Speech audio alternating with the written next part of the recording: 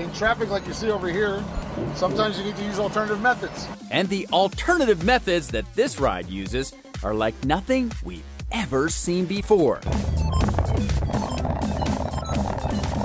You'll see this hybrid reach top speed in Biscayne Bay in just a minute. But first, let's have Gil give you the full download of his favorite toy. This is the WaterCar Panther. This is a Jeep looking vehicle that actually goes in the water and converts into a boat. What makes the car super cool is that the wheels actually go up into the hull over here. This is the propeller right here. It steers with the steering wheel. I was very lucky to be able to get the Aqua Car license plate. Nobody else in Miami has one. Like any other boat, the engine is here in the back. It has very important bilge holes here.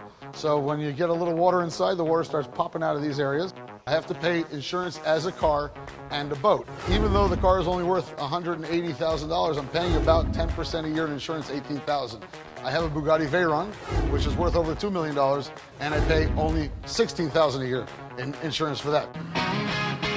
Gil uses the car anytime he needs to avoid traffic during rush hour.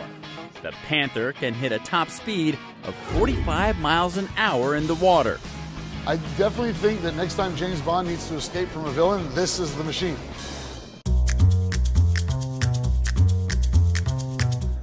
But during our shoot, the Bond worthy boat could not escape the cops. Apparently, someone dialed 911 to report a vehicle had driven into the bay, and the Miami PD was here to investigate. Somebody called that there was a car boat in the water. And here we are with our good friends of the police, and they pulled us over because they thought that somebody was driving a car in the water. And when the cops finally determined that Gil's amphibious ride was seaworthy, he made like 007 and disappeared fast. See ya!